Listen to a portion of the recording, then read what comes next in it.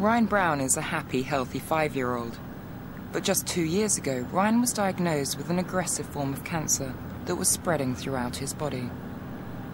That he's alive today is thanks to stem cells and a pioneering physician, Dr. Curt Civin, who found a way to harness their extraordinary power to cure.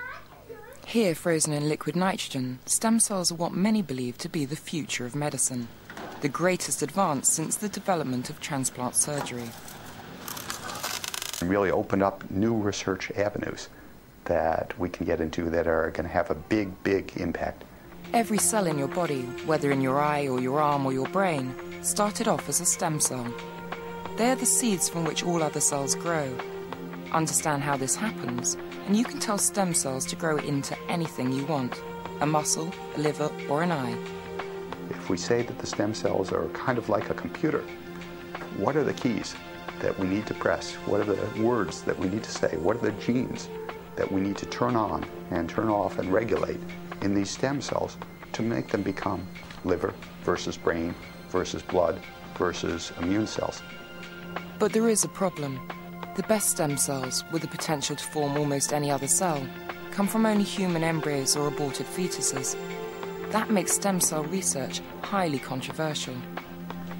Dr. Civin works with stem cells from blood, not as versatile as those from embryos, but just what's needed in patients with cancer, like Ryan. Ryan was just three when he was diagnosed with a rare form of cancer called a neuroblastoma. The diagnosis was when I understood what the word devastated meant. It was something that was so surreal to me. I couldn't imagine being in this situation. To survive his treatment, Ryan would need new stem cells to replace the bone marrow killed by the chemotherapy, which is where Dr. Civin's invention came in. He developed a monoclonal antibody, a biochemical hook, which attaches only to stem cells. We could then attach sort of a fishing line to that hook and a rod and a reel and reel in and purify those stem cells free of the other cells in the marrow. And if there were cancer cells in the marrow, hopefully free of those cancer cells. Using Dr. Civin's technique, Ryan's stem cells were harvested and purified, then stored in liquid nitrogen while he underwent intensive chemotherapy. Once that was over, his stem cells were given back. It was an infusion of this much liquid. Um, but the effect of that is just astounding. And it basically gave him the chance of having a cure, a lifelong cure. We see Ryan in follow up, and we keep our fingers tightly crossed that, that we got rid of all the cancer cells. Stem cell transplants have saved the lives of hundreds of thousands of cancer patients. But the real promise of stem cells has yet to be realized.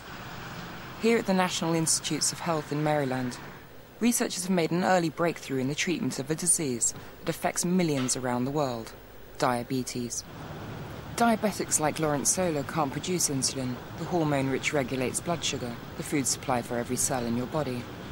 Most people with diabetes around the world will take injections of insulin with a syringe. This product um, puts the insulin, you can see the insulin in the container here, and it's attached to a tube that uh, attaches to a catheter. And um, every half hour, it gives me a trickle of insulin um, to help mimic how a regular person without diabetes uh, uh, would, would operate, their body would operate. Regular insulin injections allow diabetics to lead normal lives, but there are serious long term complications like kidney failure, amputations, and blindness. Insulin is life support for people with diabetes, um, but is not a cure, and that's the real problem. Working with stem cells from mice, Dr. Nadia Lumelsky at NIH has succeeded in growing islets, the cluster of cells in the pancreas, which produce insulin and which don't work in people with diabetes. We have not only generated cells producing insulin, we have generated cells that produce other hormones made in the pancreatic islets.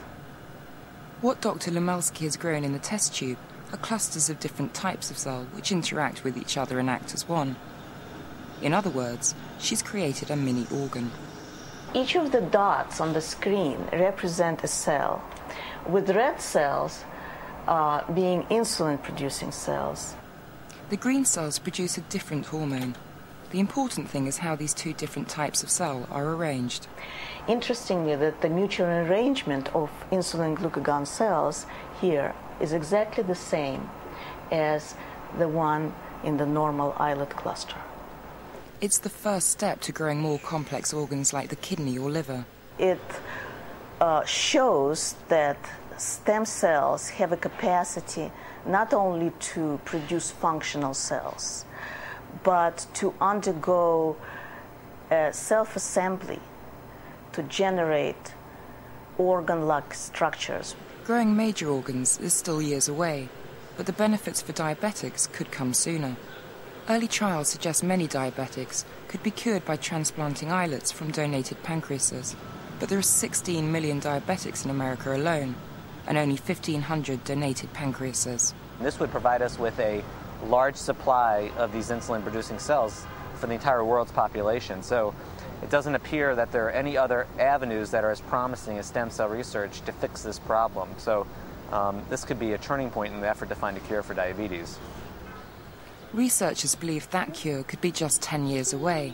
There's certainly no doubting the potential of stem cells. Ryan Brown is the living proof. Ryan will often tell me, you know, Mommy, when I grow older, I want to climb mountains. And I always tell him, you know, you already have, because he's kind of like a, you know, a medical miracle. Quite possibly the shape of medicine in the